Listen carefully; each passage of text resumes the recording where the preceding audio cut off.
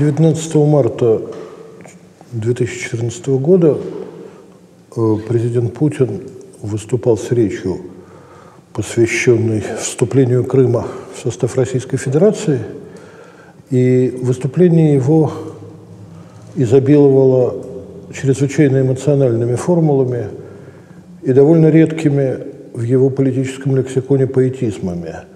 Он говорил о том, что Крым, наконец, пристал приплыл на родину, на свой берег, в родную гавань и так далее, и так далее, и так далее.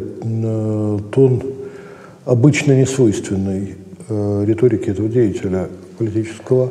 Но здесь, как мне представляется, отложились довольно устойчивые представления, существующие в русской культуре 200 с небольшим лет – о том, что обладание Крымом, собственно говоря, является собой смысл и венец цивилизационной миссии России, что это есть в каком-то смысле смысловой центр э, империи. Э, Екатерина первоначально планировала расширить, если не границы империи, то, по крайней мере, ее влияние и значимость вплоть до европейских э, территорий Отоманской империи, до Константинополя. Но это не удалось. Но свой кусок э, Древней Греции э, императрица получила в Крыму. Крым был присоединен к России в 1783 году. Причем, что произвело сильное впечатление на современников – он был присоединен без военных действий. Э, измотанная военными действиями Турция первоначально согласилась на просущий переход э, крымского хана из-под руки атаманского султана под российскую руку. Правда, этот мирное завоевание потрясшее воображение современников, через четыре года привело к новой, тяжелой и очень изнурительной войне с Турцией. Но первоначальный эффект был колоссален. Россия, наконец, получила свой кусок территории, когда-то принадлежащий к античному миру. И, кроме того, э, мне доводилось говорить о религиозной связи, которая существовала между Российской империей и Византией. Крым и здесь играл чрезвычайно важную роль, потому что в Крыму состоялся брак князя Владимира с греческой княжной, э, обозначавший принятие России христианства в Херсонесе Таврическом. Как писал из Крыма Потемкин императрица, Таврический Херсон – источник нашего христианства, а потому и людскости, то есть принадлежности к человеческому роду, уже в объятиях своей тщери, то есть дочь Таврического Херсона снова обнимает завоеванный Крым. Тут есть что-то мистическое. Екатерина была совершенно чужда мистицизма, но Потемкин был мистиком и визионером, и он видел вот этот вот э, мистический знак в, в э, том, что Крым был, э, оказался под российской эгидой. После присоединения Крыма э, Потемкин получил э, позицию губернатора новообразованной Таврической губернии, очень активно занимался административной деятельностью на его на верных ему территориях, но э, в центре, ну, во всяком одним из важных направлений его деятельности было тотальное переименование.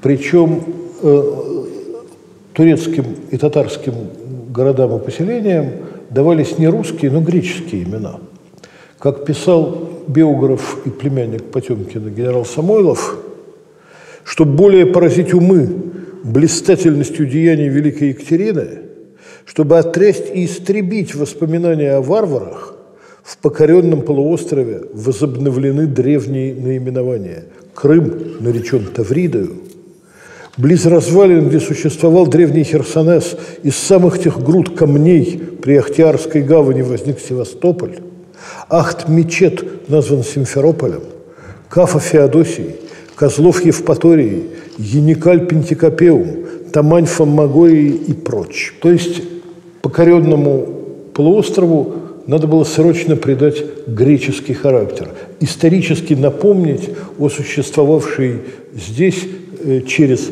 эти символические названия, конечно, они ну, за одним-двумя исключениями не были восстановленными названиями, это были заново придуманные названия, но их грецизированное звучание создавало э, смысловую связь с греческой культурой, существовавшей на этой территории, и одновременно с пространством, где началась, с точкой, с э, центром, откуда началась в свое время христианизация России. Бурная деятельность Потемкина на этих территориях, э, она, э, в частности, предполагала монументальное заселение и Крыма, и прилежащих к нему территорий. Э, Потемкин привлекал туда самые разные колонистов. Там были образованы армянские, сербские, болгарские и другие поселения на территории Крыма, немецкие.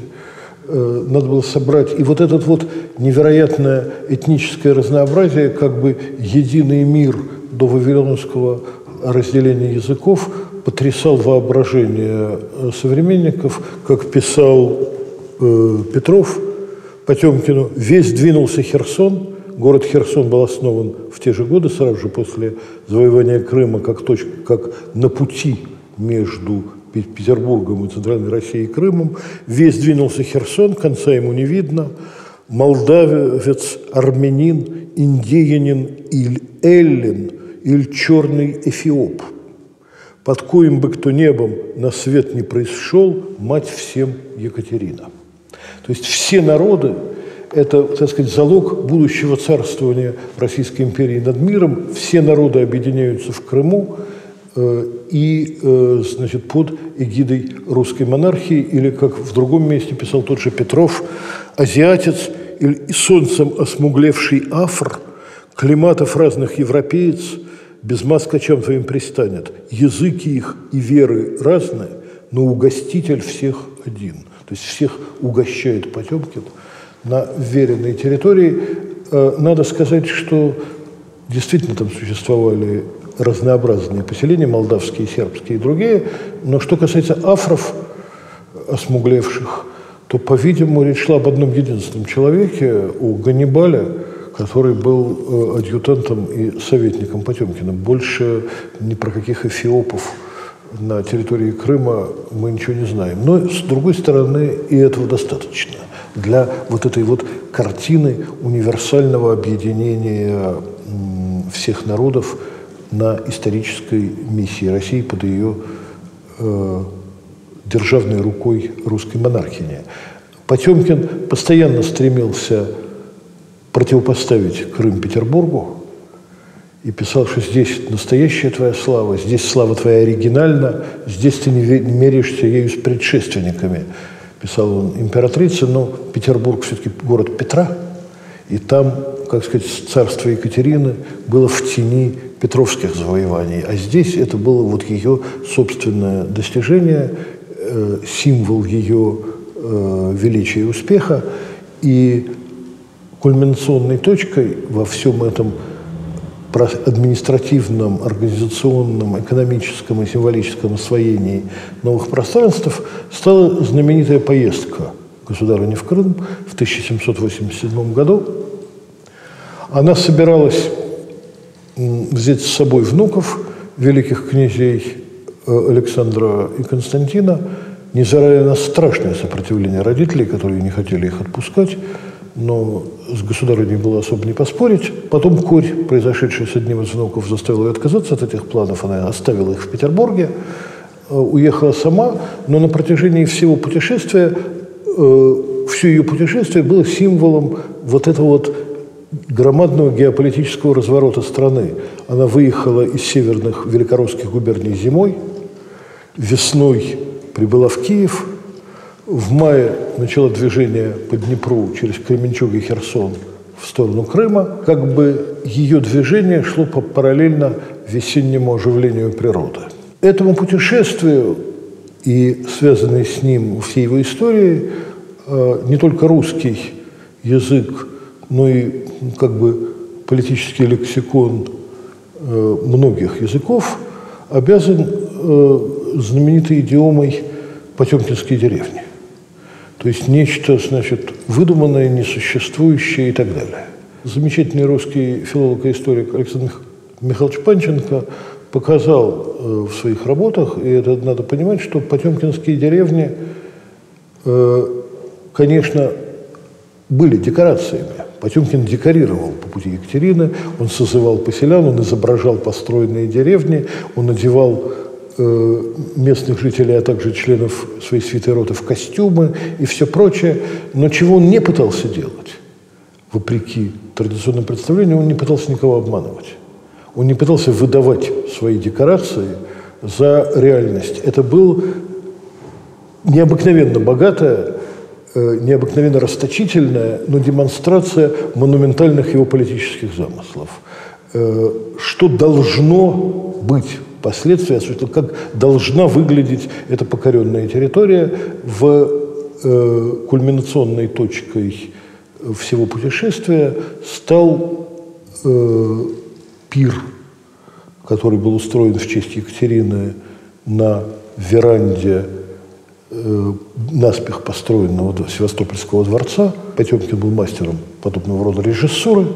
В какой-то момент неожиданно открылись занавески, которые были до этого задернуты, распахнулись окна, и стоявшие на рейде корабли выстрелили из всех пушек, салютовали императрица, что означало вот флот, русский флот в Севастополе, который стал символическим как бы, центром всего этого путешествия. На обратном пути э, государыня посетила, ехала обратно из, из Крыма через Москву. Э, в Москве она присвоила Потемкину титул Таврического. И в Москве в ее честь было разыграно огромное празднество на, ее, на время ее возвращения, это тоже было рассчитано, летом в июле она приехала в Москву, был 25-летний юбилей ее восшествия на престол. По этому поводу были громадные празднества, и центром празднества была аллегория. Все страны света несли монархине свои подношения. Север ей подносил свои дары, что чем богат север, восток свои, запад свои, а тут надо иметь в виду, что устойчивым обозначением России в то время, в политической филологии того времени, был север. Россия оказалась востоком значительно позднее. Тогда самоназванием России был север. Россия – это северная страна. И вдруг, значит, последним, а это был институт после гения севера, гения запада и гения востока, появлялся гений юга. И говорил, я все вы гении благословенны, служа, значит, великой государыне, но калика я перед вами предпочтен, что все, что вы имеете порознь во мне в совокупности есть, и целое царствование я приношу государыне, царство млеком и медом точащее. Крым, вот изобилие, земля, райская обетованная земля, которая досталась России и воплощает ну, центр ее цивилизаторских усилий. Спасибо.